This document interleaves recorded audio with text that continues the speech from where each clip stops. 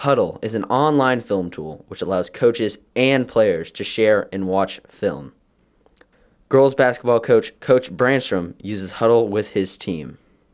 What it is is a chance to upload film, uh, to break it down, um, to put things in it that you want to see and share with your um, your team. Uh, to be honest with you, it's really good, to, easy to share for scouting purposes with other coaches. Many players also use Hudl. Junior quarterback Jack Hatzfeld uses Hudl extensively to prepare for games. Um, Hudl is a way to interact with coaches, your own coaches, but also um, prepare for the next and upcoming opponent um, by watching game film and having notes uh, that the coaches provide for you through that game film. I actually can go to each game that they play from the previous season or two seasons ago and see what they do. So.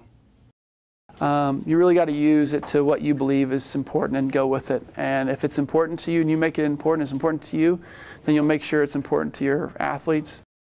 I think the best part is just the preparation tools that it gives you, being able to draw up on the film like different uh, routes that you may want to run or different notes that the coach may have that they can send to specific players. I honestly like to have the leg up because the team that watches the most film is probably going to win the game. For ONW Now, this is Brennan Wolford.